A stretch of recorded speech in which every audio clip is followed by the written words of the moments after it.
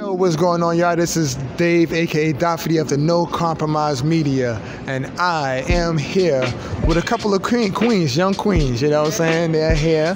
Uh, uh, I'll let them introduce themselves, but I got a couple of young queens, and we would get into a couple of questioning. We are hitting the streets. We are hitting the streets.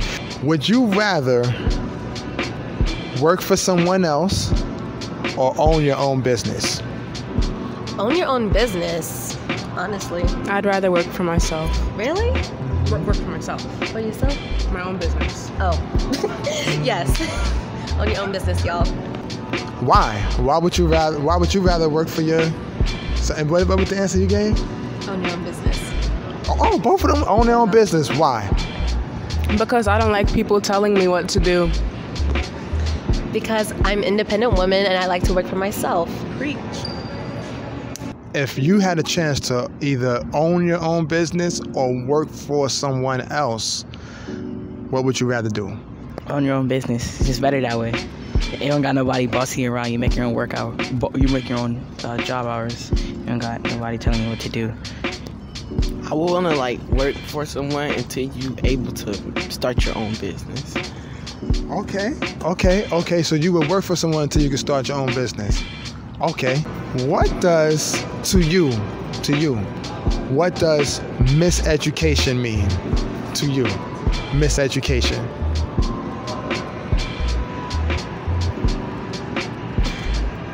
I feel like miseducation means, I feel like miseducation means like not being educated on something or just anything. I have to say the the same answer as Alani. They're just not getting well educated and that we just need to be more educated, you know? Yeah. What is miseducation to you? What does that mean? Miseducation. To me, miseducation is when people, not even just children, but people are being taught the wrong things. Mis- I think mixed education is like the people that's teaching you, not that they don't have the ability to teach you the right thing, they choose not to teach you the right things. Hmm. Okay, okay. Do you think that there's a s- big sense of miseducation happening in school? Yeah, we're being taught the wrong things. I feel like certain teachers, not all teachers, Okay. just A lot of the times in social studies, we're being taught the wrong things. Why, why in social studies? Because in social studies, it's like a lot of history that they're teaching, some of the history that they teach is wrong. What makes it wrong? What? What makes the what makes the, the, the history that they teach wrong? Because it's not, it's not what actually happened. Okay. How much of black history did you guys learn in school this year? None. to be honest, not really. Like the only time you learn about Black History is during Black History Month. I That's didn't it. even learn about Black History Month. Real? Well, there you go. Why do you think that is? Why? Why is it that we don't learn anything about black history throughout the whole school year? Because I feel like certain people just don't want us to know about our history and they want to just keep it like hidden from us. That's true. Just because we don't really learn about our own history and more like other people's history and how we evolved as humans. And I think it's really important that we should learn about it. So. How much black history have you learned this year in school? Uh, not as much as I would want to. We learned mostly about just like Africa, its economy, not really black history. You learned about Africa's economy. Yeah, stuff like that. Okay. What about yourself? Well, I mean, we take the same classes, so I learned the same stuff. Oh, yeah, I take the same classes. Okay, so you learning the same. We learning the same stuff. Okay. What does it mean to you to be black in America? Especially as a as a young lady. so, so it means to be free and independent, just doing your own thing and not letting anyone stop you. Honestly, I feel like I mean black girl magic. And like, you know, like I'm so like I'm serious, like, like that's like what I live by, like just black girl magic and having that sparkle that other people don't have. What is black girl magic? Black girl magic, it's literally everything, like anything, anything you accomplish. Anything, anything, Successful. anything black that you can do, and anything Exactly. that you do as a woman, as a girl, whatever. Okay, I heard a black. What about black queen magic? Does that fit the mold too? Of course. It's black. It's black. It's blackness. magic. It's blackness. Do y'all feel like black queens here in America? yes. Yes. What about entertainment? Do you feel like black people are misrepresented in entertainment? Yes, most definitely. I feel like they can't. Like I feel like they most definitely are, and in some in some stuff they are, and some stuff they're not. But it depends on who's like doing it. Why do you say it depends on who's doing it? Because, because like if you have someone like the director of like who did Black Panther, he represented black people really well. Versus like if you have someone who's just doing like some other movie, he won't like he or she won't like show the black culture as well as they show the other people's culture.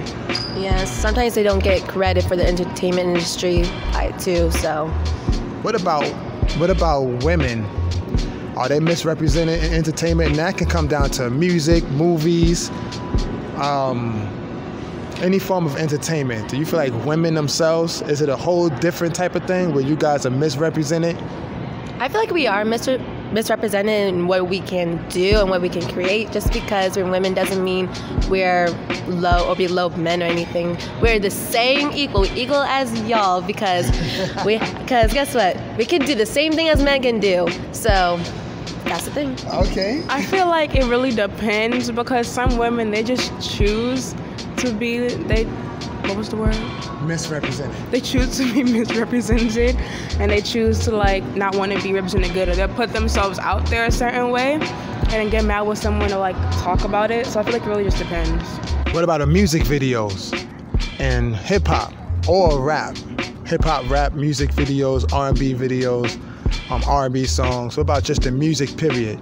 Are black people misrepresented, especially black men?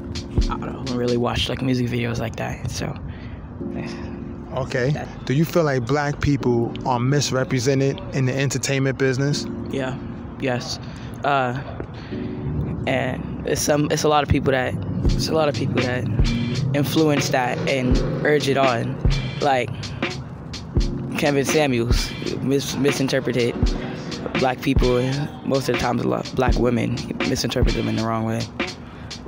Um, I don't, I don't, I don't not like really like watching TV that much or watching television, but I would say yes because how you can see like the billboards and stuff like that. You can see how it's different than what like it's supposed to be, or not what even what it's supposed to be. How black people will, like not even just want it, like want it to be fair. I have like when uh, um you go on you go on uh, um let's say like YouTube because a lot of people watch YouTube. You see how when people be explaining the first thing they say about like um black videos and uh like hip hop and stuff like that is they bring up gang violence and that's how I feel like that's it. Do you feel like black people here in America are brainwashed into feeling into feeling that they are inferior or less than what they really are? Absolutely. I mean, the schools don't even educate you on your history, so That's true. I have to say the same thing. If we're not educated by history, well, are we? I guess. really Why are we here? Why are we here in the first place? that's really just brainwashing from the start. Do you feel like black people are inferior? No. No. I'm gonna throw out a word, and that's the first thing that you say. Right? You tell me what it means to you. Africa. Soil. um continent because like uh I, I used to think Africa was a country and like so many people just like to say so many people just like to um, let's correct me when I say Africa is a country it's a continent like I, now I know that but I'm just saying like I used to think Africa was a country Is Africa a poor country No, or a poor continent? no. It's one of the richest continents in the world. Well, not even one of them, the richest continent in the world. and some things Africa is I mean like I, I think some of the things that Africa is missing they could have if we if they had the right help. Every first word that comes to your mind, I want you to say it. Africa. Land. I was like, um, Um, rich. Europe. You don't want to know the first thing that came to my mind. Um, authority, big authority. Do you think that Africa, the continent, receives a lot of uh, negativity, backlash here in America, or is it always positive? No, I- I think- Negativity. yeah, for sure, negativity. I mean, they they put, they make it seem like Africans come to live here because they don't have any money or they don't have anything, and it's like, especially on the news they make they make africa seem like a very poor country not and you can't and make people don't want to visit it but actually it's actually is a very nice country in like some well continent in some places every country has its downfalls, but they just focus more on the downfalls and not like what Africa is really doing good on. It's easier to tear like a place down and like build them up. You said, you said, can you repeat that again? I said it's easier to tear a place down than to like build them up. What are you guys doing for the summer? oh well let me tell y'all what i'm doing this summer But we have we, we have we have cheer. Oh yeah, we have cheer in July, and I'm doing the Gwinnett Youth Commission um, meeting every Wednesday, where we talk about the government for Gwinnett and see how we can make it better and safer for everyone. What y'all doing for the summer? You practice throughout the summer until school starts. Yeah, we about to go to Florida, what next next week or Next week. next week for a basketball tournament. How do you feel about the violence with the shootings and school shootings and everything that's been happening in America? How do you guys feel about that? I it, like the more shootings that are happening, it doesn't really make me feel safe at school because you don't know which school is next. Yeah, and I feel like it was I feel like it was kind of different where it's like oh like when it's in California and that's really far away versus when it's in Texas and Texas is like right there next to us. So it makes it like really it makes it different. It make like it hit like it hit like it hit different. How do you feel about the violence that's been happening here in America as far as the school shootings and all these other shootings that's been happening? Um, the Buffalo shooting that was in New York. Like, how do you feel about these this, these violent acts that's been happening? Have y'all heard about the Buffalo shootings in New York? No, No, I heard of a Texas one. It was like a Texas shooting. So you heard about the Texas shooting in Uvalde? That was the one with the children. Yeah. But you haven't heard about the Buffalo shooting. The Buffalo shooting is where is where um, a, a, a white supremacist, a white terrorist, went and shot up. Uh, a supermarket. His specific target Oh was yeah, I black. did hear about that. Mom told me about that. Yeah, I specific target was black people. He was not targeting anybody else. He wasn't targeting brown people. He wasn't targeting Asian people. He wasn't targeting people of color. He said his specific target was black people. So I just find that it's funny that we hear, and same thing with me, like we hear about the shootings in Uvalde, but we don't really hear about the shootings that happen in Buffalo. They don't publicize that. They give one over the other. because the news wants to depopulate black people. That's why they're not really giving much attention to it. They're giving more.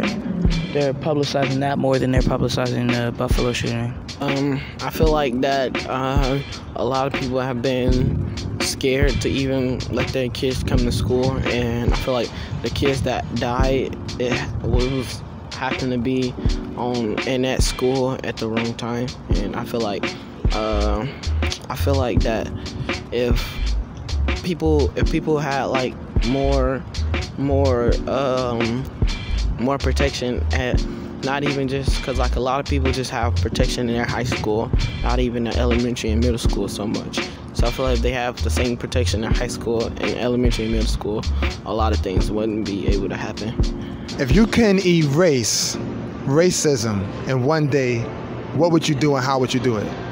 If you can erase racism, if you can delete it, destroy it in one day, what would you do and how would you do it?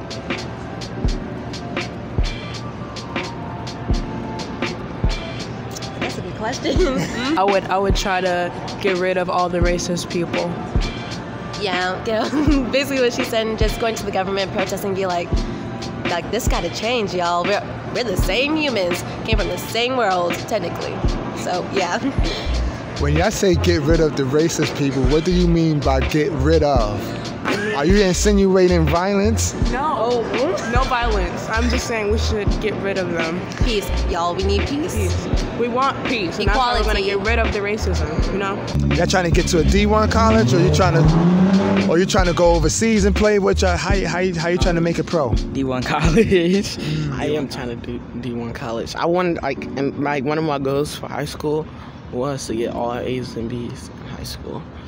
Did you reach your? Are you reaching your goal now with all A's? Yeah. No, not all A's. I got all A's and B's though. Oh, so A's and B. You're an A, A and B um, student. Okay. What about yourself, brother? B's. Okay, B's. All right. Hey, once again, you've been rocking with the No Compromise Media. Again, we've right here in the mall, hitting the streets, getting words out, questioning our young queens. Again, Carlisle, Alani Bonnie. You seen it first, you heard it first. Don't forget to don't forget to follow me on Instagram at alani.bonnie.